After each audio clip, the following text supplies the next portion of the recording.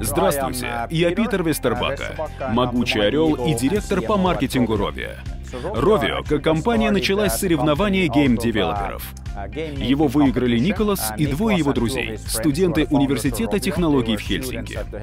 А потом они пришли ко мне и спросили, что им делать дальше. Я предложил создать им компанию, разрабатывающую игры, потому что им явно нравилось это занятие. Они основали Rovio в 2003 и 51 игру спустя.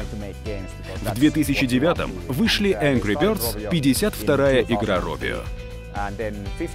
Сейчас в компании 650 сотрудников. Так что мы неплохо выросли. Когда вышли Angry Birds, у нас работало всего 12 человек. Увеличилась не только команда. Мы производим много всякой всячины. Помимо игр, у нас самая большая анимационная студия в Северной Европе. Есть отделы, которые издают книги, учебники. Мы строим даже парки аттракционов. Ну, не строим, но дизайн разработали. Так что по сравнению с прежними деньками, Rovio сейчас серьезно разросся. Мы используем в работе множество инструментов. Например, разные Google-приложения. Google Docs, Gmail, Такие всякие штуки. Ну и звони много, смс-ками обмениваемся.